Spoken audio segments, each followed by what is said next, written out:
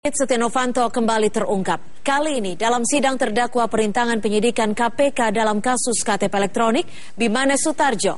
Kepala instalasi gawat darurat Rumah Sakit Medika Permata Hijau menyebut Bimanes Sutarjo mengubah diagnosis pasien dengan nama Setia Novanto saat peristiwa kecelakaan pada November tahun lalu. Saksi yang dihadirkan di Pengadilan Tipikor Jakarta adalah Michael Chia Cahaya, dokter yang menjabat kepala instalasi gawat darurat Rumah Sakit Medika Permata Hijau. Dokter Michael merupakan dokter yang bertugas di IGD saat Setia Novanto mengalami kecelakaan pada 16 November 2017. Di persidangan terungkap adanya rekayasa sakit terhadap Setia Novanto yang dilakukan terdakwa Bimanes Sutarjo.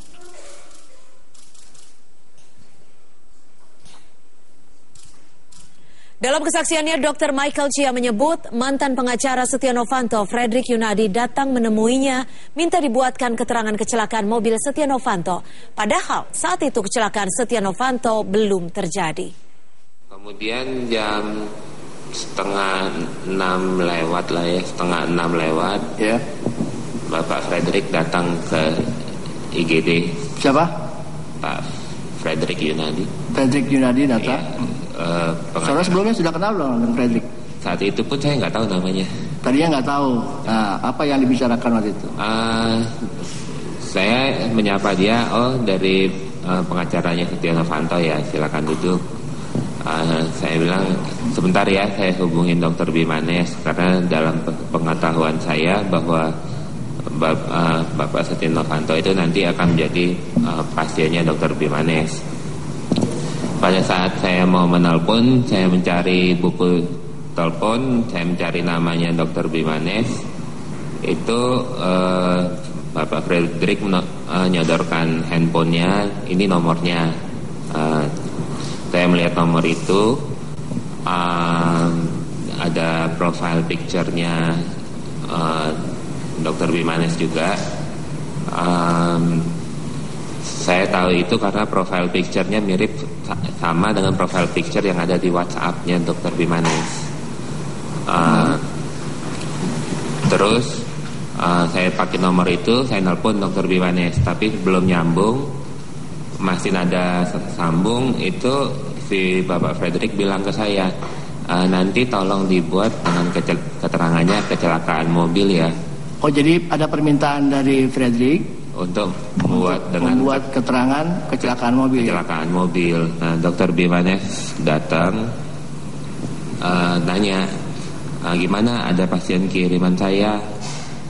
Uh, terus saya bilang uh, dok itu tadi pengacaranya datang mintanya dengan keterangan kecelakaan mobil. Hmm. Oh, oh, dokter Bimanesnya bilang nggak usah kita uh, sesuai medis saja seperti sesuai medis saja kata dokter Bimanes terus dokter Bimanes hmm. duduk di depan saya.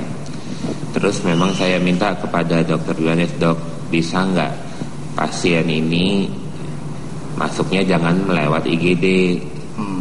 karena ini pasti ceritanya panjang kalau kayak gini.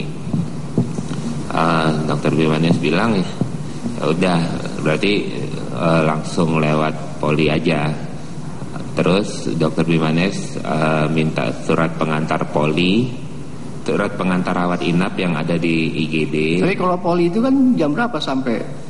Kalau poliklinik ya, mulai... itu buka sampai jam 9 malam. Sampai jam 9 malam poli. Iya. Uh, jadi dokter Bimanes minta surat pengantar rawat inap yang memang ada di meja IGD. Terus hmm. dokter Bimanes nulis di situ. Uh, diagnosa rawat inapnya, nama pasien, terus dokter Bimanes tanda tangan. Terus ada catatan harian dokter.